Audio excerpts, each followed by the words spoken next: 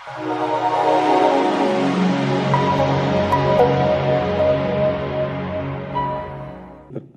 పరిమితులను బట్టి రాబోయే దాంట్లో ఎంత ఉంటాము ఏముంటాము మన పరిస్థితి ఏంది?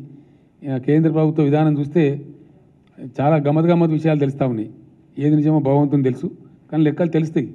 పార్లమెంట్ సబ్మిట్ చేయాలి కాబట్టి తప్పదు. కాగు చెప్తుంది. ప్రభుత్వం దాచిపెట్టినా కాగు ఆపదు. ఆడిట్ బాడీ ఉంటుంది కాబట్టి అది స్టాట్యూటరీ బాడీ కాబట్టి దేశం ముందు లెక్కలు పెట్టాల్సి వస్తుంది పార్లమెంట్లో ముందు పెట్టాల్సి వస్తుంది. వాళ్ళ బండారం బయట పడుతుంది. మరి జీడిపి నాలుగు పర్సెంట్ ఐదు పర్సెంట్ మూడు పర్సెంట్ అని చెప్తే అసలు ఏ పర్సెంట్ లేదని కొందరు చెప్తున్నారు. జీడిపి సున్నా అయిపోయింది మొత్తం మునిగిపోయే కార్యక్రమం ఉంది. నెక్స్ట్ ఇయర్ కూడా జీరో ఉండే పరిస్థితి ఉంది.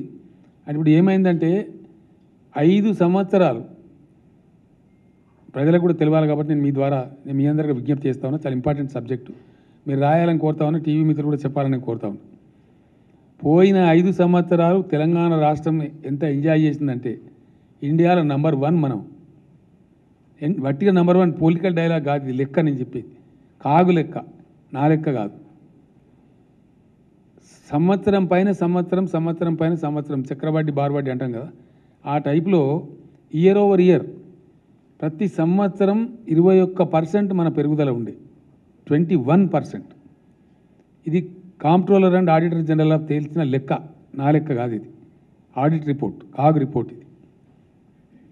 ఒక రెండు వందల కోట్లు మూడు వందల కోట్లు శాంక్షన్ చేయడం నేను వెనక ముందు కూడా చూస్తాను కాదు. ఆలంనారాయణ గారు సందర్భం అంటే వంద కోట్లు జర్నలిస్టులకు ఇచ్చేసినాం.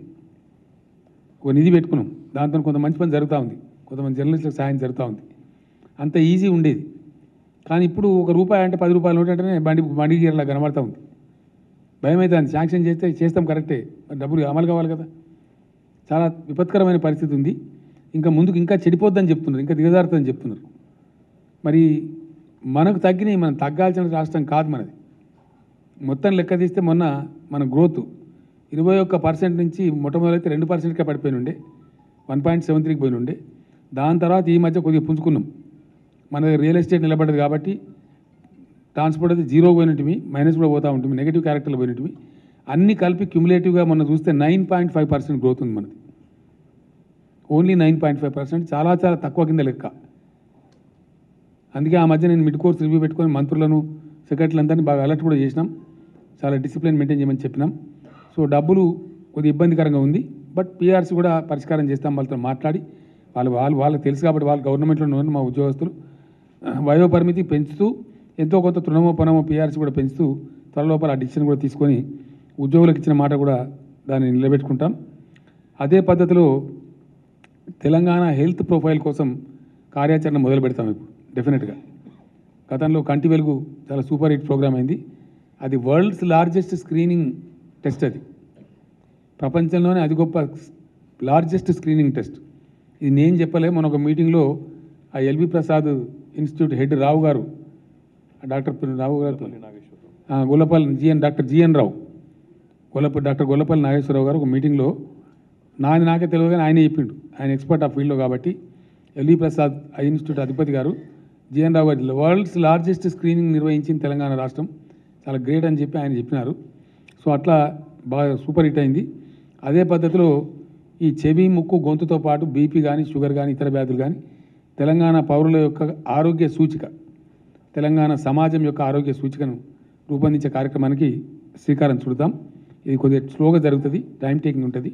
ఎందుకంటే నాకు వేలేదు పోయి మళ్ళీ రాస్తే పెద్ద లేని ప్రమాదం వస్తుంది కాబట్టి చాలా కేర్ఫుల్గా స్లో చేసినా మంచిదే కానీ పకడ్బందీగా చేయాల్సి ఉంటుంది. అందువల్ల దాన్ని చాలా జాగ్రత్తగా ఎంత కేర్ తీసుకోవాలి అంత కేర్ తీసుకొని దాన్ని చేస్తాం.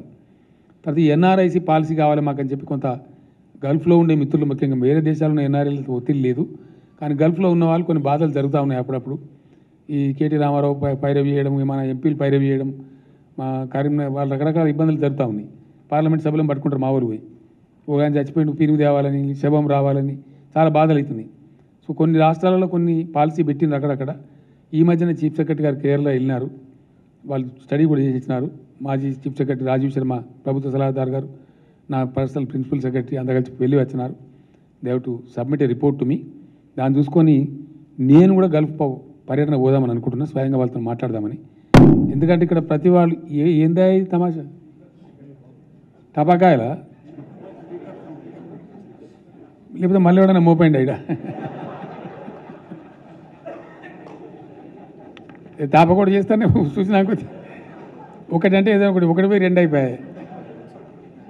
ఈ పోలీస్ వాళ్ళు ఉన్నారు కదనే? ఏం సంగతి అది? స్పీకరేనా? అది ఇదా? డామ్ డామ్ అంటే మరి ఇదే ఉండదు సార్?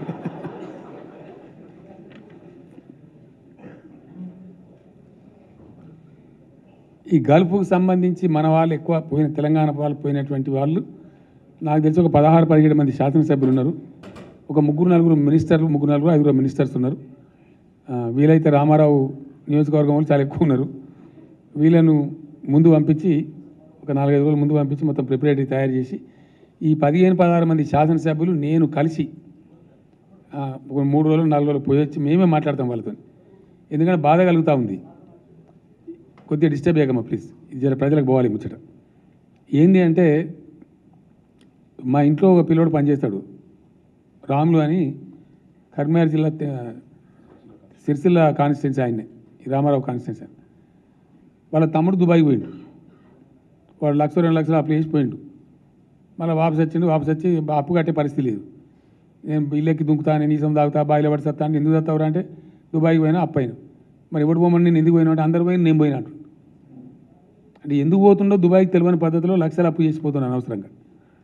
సంపాదిస్తున్నారు ఎంత దుబాయ్లా? ఎంత శాలరీ వస్తున్నది? పదివేలు పన్నెండు వేలు వీళ్ళు ఇక్కడ మార్బుల్ వేస్తాను రాజస్థాన్ నెలకు ఇరవై ఐదు వేలు సంపాదిస్తున్నాయి హైదరాబాద్లో. హౌస్ బిల్డింగ్ ఇండస్ట్రీ చాలా చాలా పెద్దది హైదరాబాద్లో.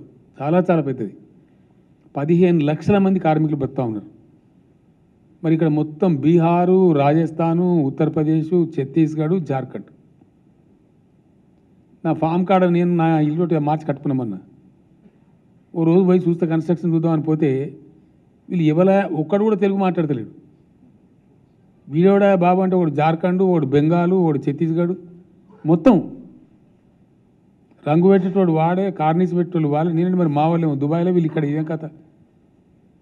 ఎంత కూలి అంటే ఒక ఆయనకి ఆరు వందలు పర్ డే ఒక ఆయనకి ఎనిమిది వందలు పర్ డే ఇట్లుంది మరి. అంటే నెలకు ఇరవై ఐదు వేలు ఇరవై వేలు ముప్పై వేలు వస్తుంది హ్యాపీగా. ఉన్న ఊర్లో మంచిగా కడుపులో చల్లగా తగలకుంటే ముప్పై వేలు వచ్చే పరిస్థితి ఉంటే మరి గల్ఫ్కోయి మా వాళ్ళ సచ్చుడు ఎందుకు? ఉన్న ఊరు విడిచిపెట్టుడు ఎందుకు? కన్నవాళ్ళు విడిచిపెట్టుడు ఎందుకు? ఇది ఏం బాధ? ఈ లక్షలు అప్పులు చేసిపోవడం ఎందుకు? అది ఇది అర్థం కాలేదు నాకు. I'm confused. చాలా పెద్ద పోల్ట్రీ ఇండస్ట్రీ ఉంది మన దగ్గర. చాలా చాలా ఉన్నాయి ఉద్యోగాలు చాలా దొరుకుతున్నాయి. డైరీ ఫార్మ్స్ ఉన్నాయి. అందరికందరు బీఆర్ఓలే మన దగ్గర. ఒకటి తెలుగు వాళ్ళు లేడంలో పోతే మరి మనోళ్ళు గల్ఫ్లో ఎట్లా వీళ్ళు వీళ్ళు తెలంగాణలో ఎట్లా ఇది కొంచెం ఏదో మిస్ మ్యాచ్ ఉంది. నేను ఆర్ఎన్బి మినిస్టర్ గారితో మాట్లాడినా. నా కింద అవసరమైతే ప్రతి నియోజకవర్గానికి ట్రైనింగ్ సెంటర్ పెట్టి. కన్స్ట్రక్షన్ ఫీల్డ్లో కానీ ఇంక ఇతర ఫీల్డ్లో కానీ తెలంగాణలో ఉండే ఉద్యోగ అవకాశాలు ఉండగా మనం ఎందుకు బయటకోవాలి? ఇక్కడ ఇక్కడ మంది బతుకుడు ఎందుకు? మనం బయట బతుకుడు ఎందుకు? నాకు అర్థం కాదు. ఏదో సంథింగ్ సమ్ మిస్సింగ్ లింక్ ఉంది. ఈ వాని మీద పంపించే వాళ్ళు నేనే స్వయంగా కొంతమంది అధికారులు కూడా పట్టుకపోయి నా ఎంబడి నాలుగు రోజులు కాకపోతే ఐదు రోజులు తిరుగుతాం. తిరిగి వాళ్ళ స్వయంగా మాట్లాడి మీరు ఎందుకు వచ్చిన మీ కథ ఏంది? నీ శాలరీ ఏంది అసలు? ఆ కంపెనీ కూడా వాంతో కూడా మాట్లాడి మన అంబాసిడర్తో మాట్లాడి వాళ్ళ స్థితిగతులు మొత్తం తెలుసుకొని దానికి ఒక సొల్యూషన్ తెచ్చే ప్రయత్నం నేనే పర్సనల్గా చేద్దామని చెప్పి అనుకుంటున్నా. మరి బహుశా అసెంబ్లీ సెషన్కు ముందో వెనుకో గల్ఫ్ పర్యటన కూడా చేసి ఈ ఎన్ఆర్ఐ పాలసీ కూడా చేస్తాం. Please subscribe to Nine Roses Media please like follow and subscribe Nine Roses Media hi everybody this is Murali Sharma and please subscribe to Nine Roses Media నేను మీ రజీనా కెసాండ్రా. నైన్ రోజెస్ మీడియాకి subscribe చేయండి. Hello viewers please subscribe to Nine Roses Media thank you please subscribe to Nine Roses Media Nine Roses మీడియాను follow అవ్వండి చూడండి enjoy చేయండి share చేయండి like చేయండి సబ్స్క్రైబ్ చేయండి.